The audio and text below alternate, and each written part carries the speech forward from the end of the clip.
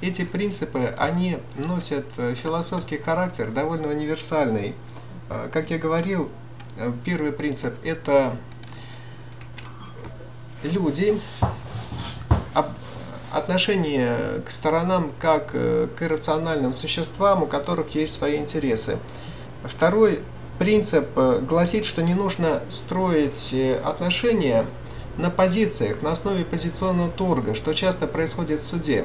То, что заявлено предметы основания иска, это есть позиция, очень часто. Позиционный торг – это проблема, а интересы сторон – это возможности, возможности для того, чтобы найти приемлемый вариант решения.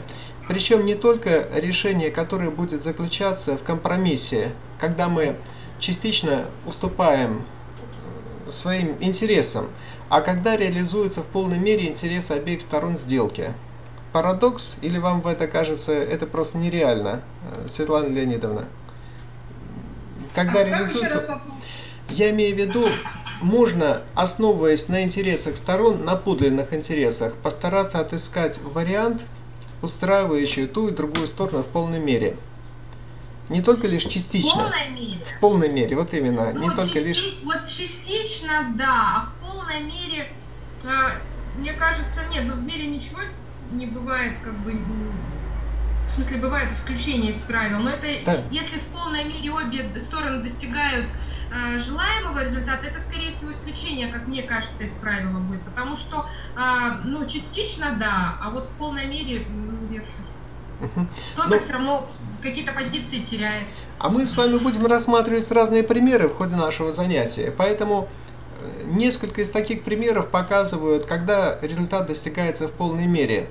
Но в случае позиционного торга обычно заводит диалог в тупик. Вы согласны со мной? Я имею в виду остро-состязательный судебный процесс.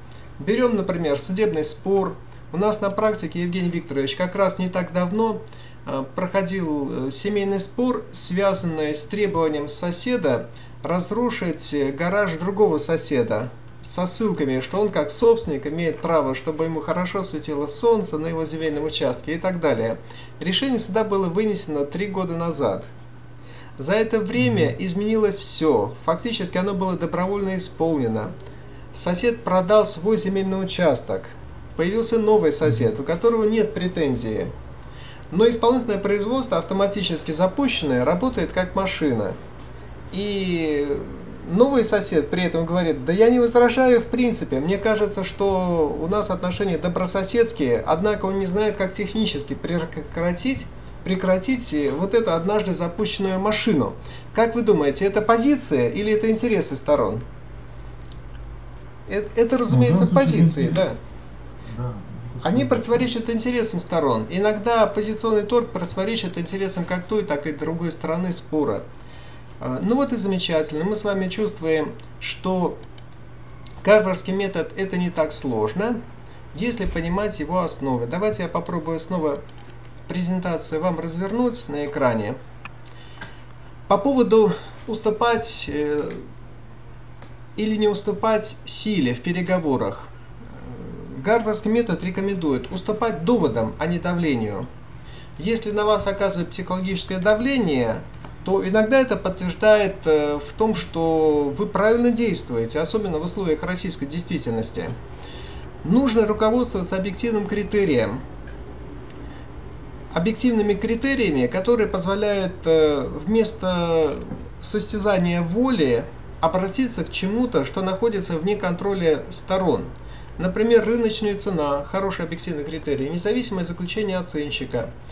И необходимо также анализировать разные варианты до того, как сделан выбор, до того, как сделан окончательный выбор. И здесь вот на следующем слайде вы видите, что метод принципиальных переговоров, он здесь раскрыт более широко, когда участники решают проблему вместе – когда в качестве цели они ставят взаимовыгодный результат. Опять же, в этом случае отделяются люди от проблемы. Отношения между людьми это одно. Давайте относиться